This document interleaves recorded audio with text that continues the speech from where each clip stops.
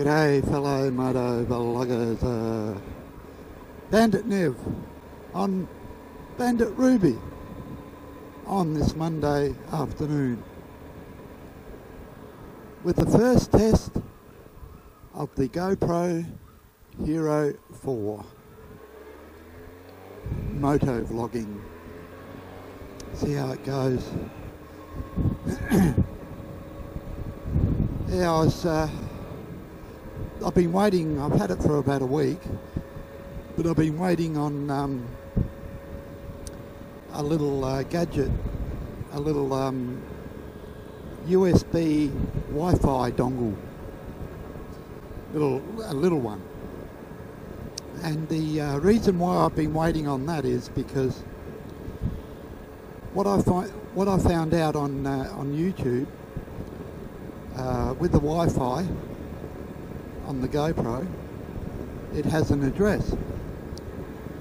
Uh, HTTP colon forward slash forward slash 10.5.5.9 semi or colon uh, that's the two dots one above the other um, 8080 so that's the port that it uses so that means that if you're on a Wi-Fi network,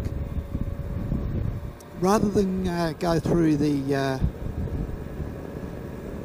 hassles of um, unplugging all the plugs and transferring your files or whatever, you can actually transfer them via Wi-Fi from uh, your GoPro to the computer. Uh, you just have to um, type those uh, addresses in uh, in your browser, have the GoPro on, the Wi-Fi on, and it will ask you for the um, the key to get into your GoPro, whatever you uh, have typed into that when you did the uh, update or, or, whatever, and uh, and you'll get in and you'll see the uh, the file structure in your web browser of the GoPro. So then you can uh, click the file, right mouse click and save as, and it sort of like downloads it from uh, from your GoPro to your hard drive wherever you want it to go. So that's why I've been uh, waiting a while to be able to try it out. And, um, well, this will be the first test, won't it? On the, uh, the 10.5.5.9 colon 8080. Uh, it sounds like jargon to some people, but I, I sort of understand it uh, because I've been in the industry for such a long, long time. It wasn't me, officer. He's not even looking this way. So yeah, um, let's hope that works. And the voice is coming through nicely on the GoPro Hero 4 with the Sena SMH10 and the Sena GP10 and all is well. I've also got the uh, the Hero 3 on the back of course. Some of you have already seen some of the footage of that. And uh, that's working well. It's going to be quite funny how I'm going to uh, sync it up if I need, if I want to use some of the um, the footage. Um, I suppose if it's one second out, it won't matter too much. So hopefully uh, that'll be all right. Be a bit of a challenge both the videos going, like some people do. Um, just a little subject today.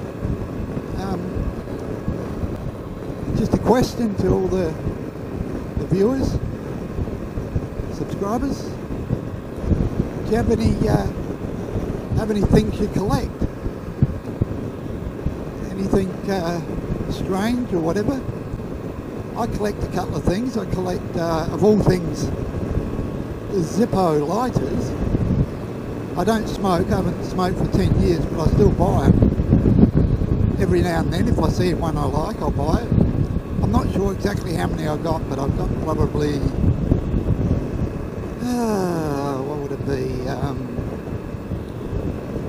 uh, around between about 30, 35, 40, something like that. Um, I also, for some reason, I don't know why, but I love uh, timepieces like uh, pocket watches. I've always loved pocket watches for some reason. Ever since I was a youngster, I love pocket watches.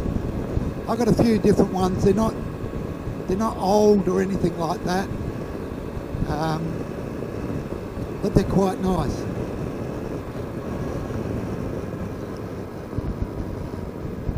Um, just get past this bus. Um, yeah, uh, the old-fashioned pocket watches. I've got a couple of ones that are worth about 40 odd dollars and others that are El Cheapos.